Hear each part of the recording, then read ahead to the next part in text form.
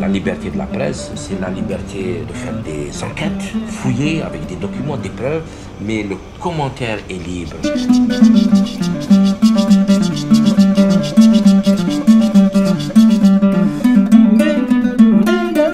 Une immersion dans la rédaction du quotidien algérien francophone El Watan, c'est le choix du réalisateur Malek Bensmail dans son documentaire Contre-pouvoir. Il a suivi ses journalistes d'opposition pendant la campagne présidentielle de 2014.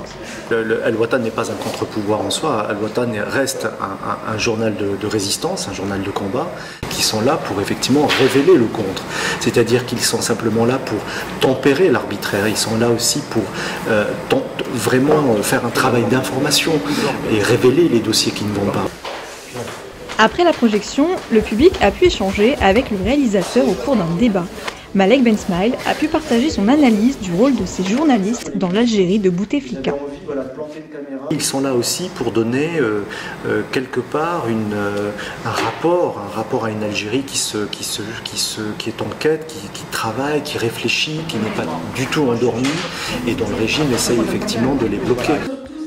Une situation compliquée pour la presse algérienne qui n'a pas laissé indifférents les spectateurs.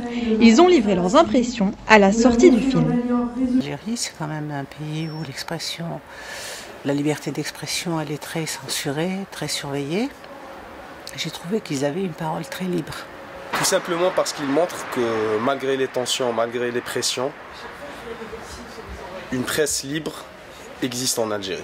Ce film est donc un hommage appuyé à la persévérance et au courage de ces journalistes. Ouais, ouais ça va pas s'arrêter.